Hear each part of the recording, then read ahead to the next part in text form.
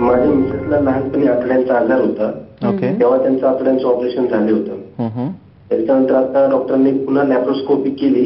त्यांना असं आढळून आले की सर्व आतडे एकमेकांना चिटकलेले आहेत. ओके. डॉक्टरांचं असं म्हणणं आहे की ते गर्भनलिका सुद्धा बंद आहेत. ओके. तर त्यामुळे प्रेग्नन्सीला अडचण येते. तर पुढे आम्ही काय करावं असं काही नक्की, विचारायचंय डॉक्टर. नाही अच्छा.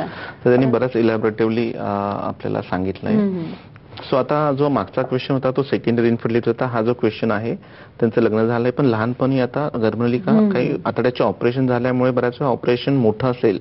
तर गर्भनलिका तिथं ब्लॉक होऊ शकतात सो त्यांनी लॅप्रोस्कोपी करायचा प्रयत्न केला आहे पण त्याच्यामध्ये त्यांना लॅप्रोस्कोपी करता आलेली नाही असं त्यांचं म्हणणं आहे. कारण पूर्ण आतडे चिटकले असतात याला आपण फ्रोझन पेल्विस एक मेडिकल टेक्नॉलॉजी आहे. सो फ्रोझन पेल्विसमध्ये कसे असतात? आतडे गर्भाशय गर्भनलिका अंडाशय हे सगळे चिटकलेले असतात. त्याच्यामुळे आपल्याला तिथलं जाता येत नाही. हो. आणि ह्या दोघं नळ्या बंद असल्यामुळे आयव्हीएफ ही एकच उपचार पद्धती यांच्यासाठी आहे. पण आयव्हीएफमध्ये पण आपल्याला पहिले सोनोग्राफी करणं फार गरजेचं आहे. अंडाशयाची लोकेशन बघणं फार गरजेचं आहे. अंडाशय जे आहे ते ऍक्सेसिबल आहेत का.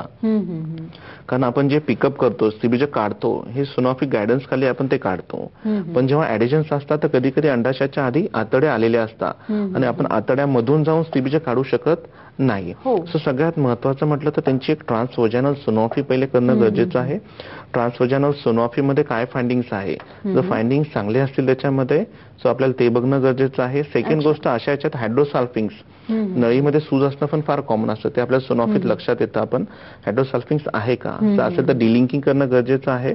आणि त्याच्यानंतर आपण आयव्हीएफ ही उपचार पद्धती केली. हम्म. त्याच्यामध्ये यांना रिझल्ट हे नक्की चांगले मिळू शकतात आणि बेसिक म्हटलं तर त्यांना पहिले ट्रान्सफोजनल सोनोग्राफी आणि जर हायड्रोसल्फिंग्स असेल तर डिलिंकिंग हो. सो अशा पद्धतीने आपण जर आयव्हीएफ ट्रीटमेंट केली तर रिझल्ट हे फार चांगले मिळू शकतात.